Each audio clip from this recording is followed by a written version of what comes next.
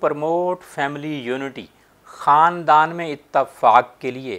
اگر کسی خاندان میں نا اتفاقی ہو فیملی میں نا اتفاقی ہو، گھر میں لڑائی جھگڑے ہوتے ہوں، میاں بیوی سے، بیوی خاون سے، بچوں کا ماں سے، ماں کا بچوں سے، ساس کا بہو سے، بہو کا ساس سے کوئی بھی فیملی اختلاف ہو، تو یہ آیت پڑھیے۔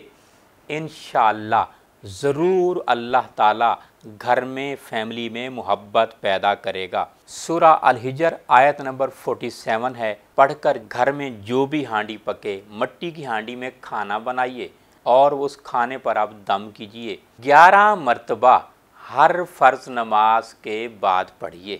اور ایک مرتبہ جو ہے ہانڈی پر دم کیجیے وَنَزَانَا مَا فِي صُدُورِهِم مِّن غِلٍ اِخْوَانًا عَلَى سُرُرٍ مُتَقَابِلِينَ If a family experiences discord, recite this verse 11 times after every first salah. Look to forward to sky and blow and recite this verse on earth cooker and whole family eat it. Inshallah, continue to do it till success is achieved.